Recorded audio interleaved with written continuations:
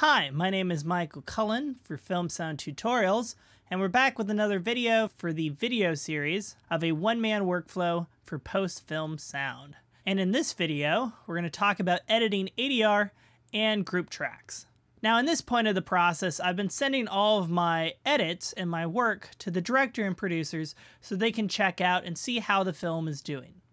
And at this point, normally they have some changes. And the changes normally have to deal with dialogue and trying to help the dialogue better tell the story.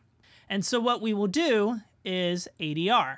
And so ADR is automated dialogue replacement where we bring in the actors into the studio and we have them re-record their lines for a variety of reasons. It could be performance issues, it could be recording issues, it could be story issues, it could be changing of lines, there's a whole variety of reasons that the director and the producers might want to change the dialogue. Along with recording ADR, when we're on set, we don't actually record any of the background actors or any noise and any audio besides the main character's dialogues.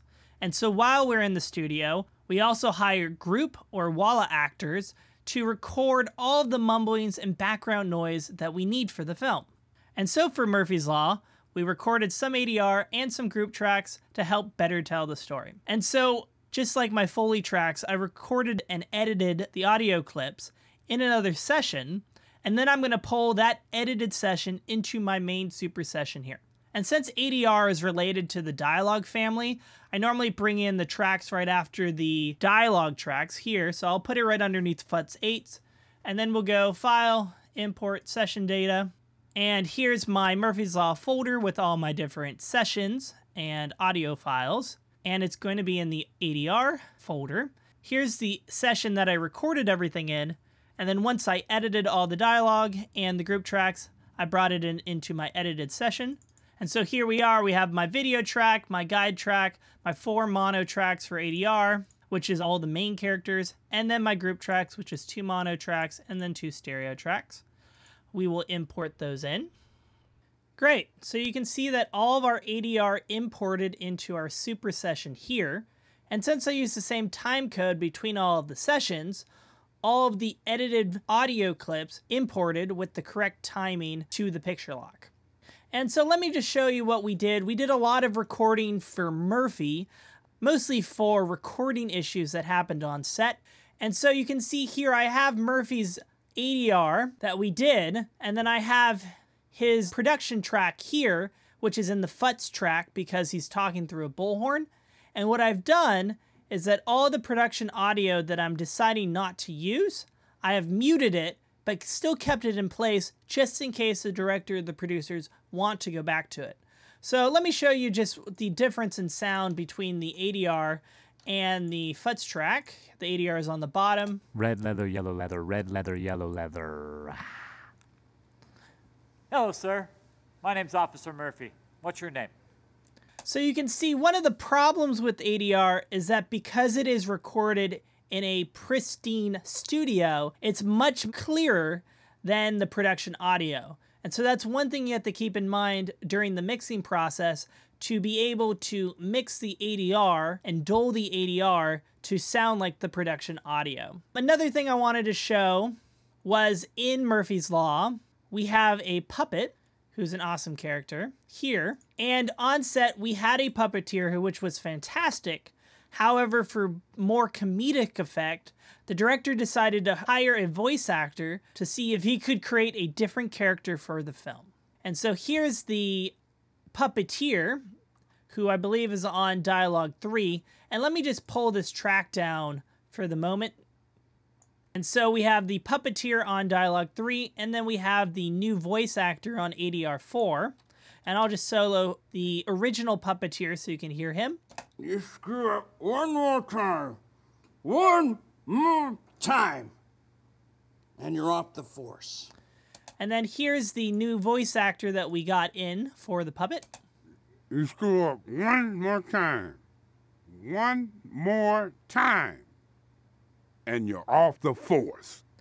So a little bit different, and it makes a different character. Now, one of the things that I did do and you can see is that I highly edited the ADR clips. And to help do that, I used a feature in Pro Tools called a playlist to be able to have all my different takes within one audio track. And so if you see over here, instead of looking at waveform, let's look at the playlist view. And here I have all the alternate takes of the voice actor saying his lines. And so, for example, instead of using the take that I picked here, You screw up one more time. the director could choose uh, perhaps something like this. You screw up one more time. And so you can see how there's a little bit different inflection in that take versus another take. But playlists are a really handy feature to be able to swap out different takes very easily while keeping all of your alternate takes nice and organized within your session. Now, of course, when we recorded this ADR, it didn't match up perfectly with the production audio. Instead, I can even show you that the original take was a little bit different. You screw up one, more time. To be able to match the puppeteer, I had to edit this new ADR track to fix the timing. And so, of course, I can move it around and try to match up the peaks. What I can also do, a nice feature in Pro Tools, if you need to stretch out a clip, you can go up here and use the time compression or expansion trimmer instead. And I can pull out my clip, and then the new clip will be an expanded version of the original audio. Of course, too, I can pull it in and it will compress it as well. And what we're looking to do is to have the peaks of the new ADR be similar to the peaks of the recorded audio. But of course, the best way to ensure that your ADR matches up is to just listen to it for yourself. Let me put this back to the standard trim tool and turn on my smart tool, which I like to use the best. You screw up one more time. One more time. And you can see how that works really well. So let me f- put this uh, dialogue track back to its original place in between dialogue 2 and 3. And what I wanted to show you next is how group helps fill out the scene of a shot. Now, at the end of the film, Murphy's wife comes out with the crowd. And to record the wife's dialogue, I had to ensure that the entire crowd was silent while shooting on set. Here's the only thing that we recorded during this shot. So the wife is on dialogue two. Murphy! I saw the whole thing. I'm so proud of you, baby. It's a boy!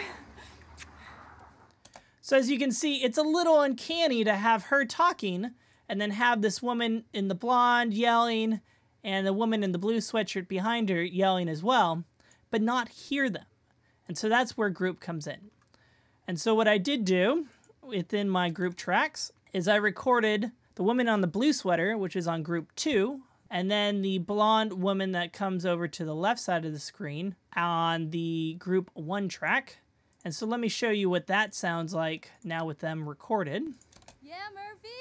Murphy! Woo! Yeah! Yeah, Murphy! Woo! Yeah! Yeah! Murphy! And so you can see how I painstakingly ensured that those little callouts matched their mouths. And then to add on top of that, I recorded a group of about five or six actors in stereo to provide the chanting noises behind the wife. And here those are. Yeah, Murphy! Murphy! And so now you can see how the group has really helped filling out the scene sonically. And so let's play it all together now with the wife talking as well. Murphy! I saw the whole thing. I'm so proud of you, baby. It's a boy! So I think that really helps demonstrate the purpose of using group to record walla and call out lines for your scene. So the last thing we're going to want to do is we're going to save copy in this session. So we have a new session to save this super session with our new ADR and group tracks. And of course, we're going to save this within the editorial folder. And you can see all of my other save copy-ins as well. ADR. And this is getting a little unwieldy. So if you wanted to name it just Super Session, you could also do that. So that's what I'm going to do. Because now this has almost everything that we need. And the date is 61916. And we will save that. So this concludes this short video on ADR. In the future, I'll create a video that shows how to actually record ADR within a studio environment. So thanks for watching, and I'll see you next time.